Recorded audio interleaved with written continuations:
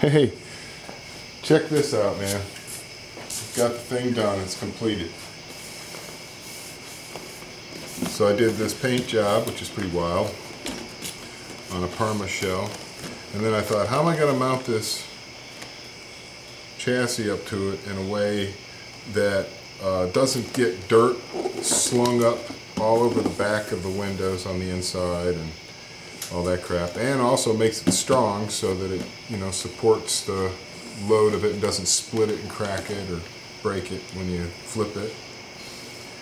And uh, so here let me show you what I did. I I took a piece of expanded uh, PVC it's quarter inch thick but it's very lightweight. It's weird. It's stiff but it's kind of foamy.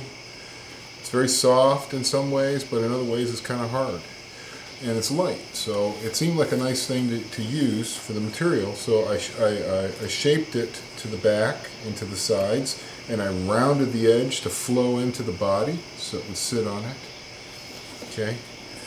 And then uh, I put uh, these are made of uh, vinyl.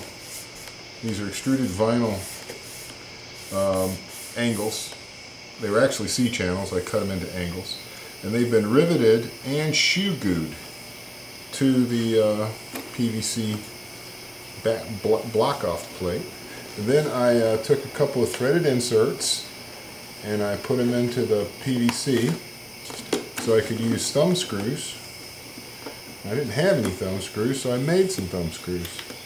I had some thumb uh, thumb nuts and some lock nuts and some screws and I made my own. Um, so to take it off, it just lifts out. Now the downside is, is that because I have this brace here for the plate chassis, I had to cut a hole in it. Otherwise it could have been completely flat. This is a 18650 battery. I just put a 3-pin Molex on it. I've got lights in the front, which I think are pretty cool. If you look at them, you'll see it's an LED on a little star heat sink. Okay, those are 3 watt LEDs, 230 lumens each at 3.7 volts.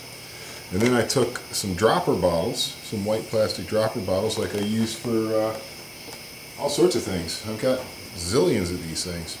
Anyway, cut those down, made buckets for them, threaded wire through them, filled them with epoxy, dropped the modules in it. It's completely waterproof, stabilized. Okay, got my wire fished underneath my plate here and I wanted to have the shell lit without any need for the, you know, LiPo to be involved. You can see that's really ridiculously bright. That's pretty cool too. And I've tried to make all the wiring as sanitary and out of the way as possible. So you can see, got everything tacked down with hot glue blobs.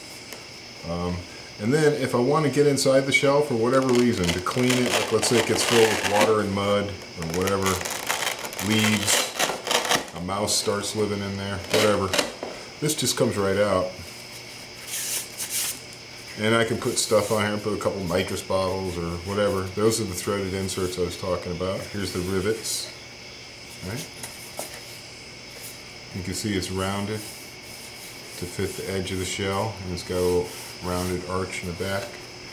And on the actual shell, I put uh, same material, I heat formed it, bent it, then I put a bevel in it that goes this way and this way, so it would match the floor. And then to put it back in, all I do is, is, is uh, God willing, keep the Velcro out of the picture for a minute, get it to drop all the way down, and just, that's it.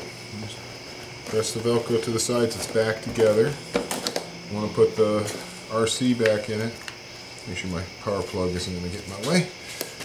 And then I, you just line up, this is a bent Lexan, uh, like a T, H, pi sign. And uh, I've got a Velcro patch here in the front. You just line it up with the Velcro patch and it drops right down. And then you put your thumb screws back in and away you go. So I think it's pretty, it's pretty cool how easy it is to get at it. but the, the battery compartment, the top of the battery compartment is completely sealed now by that. Um, everything's sealed. So very little crap is going to be able to get right inside and mess anything up. Except, you know, obviously through these areas. But really, the tires are slinging all the stuff out in the edges. And that's pretty tidy. That'll be easy to maintain. So, there you have it. thought that was pretty cool. Cool shell. Cool lighting. And kind of a unique way of uh, getting the whole thing to mount up.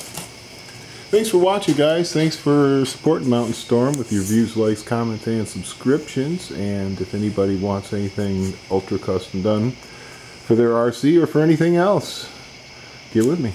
RW underscore K-E-E-T-O-N at yahoo.com.